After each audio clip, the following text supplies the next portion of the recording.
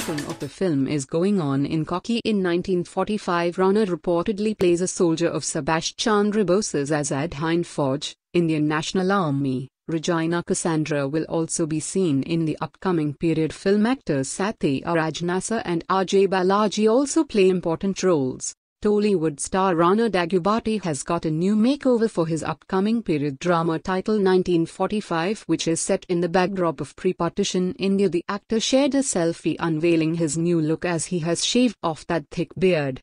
Alright the beard gone. Moving into another period. Working on a new look for number 1945 first look will be out November. Hash face under the beard Rana captioned the picture on his Twitter page.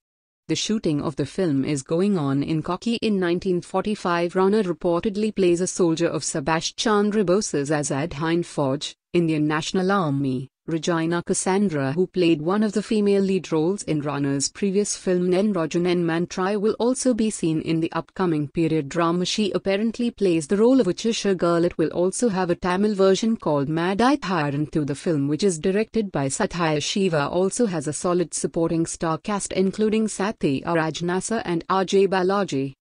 Interestingly Rana Sathyaraj and Nasser have earlier worked together in the Baahubali franchise.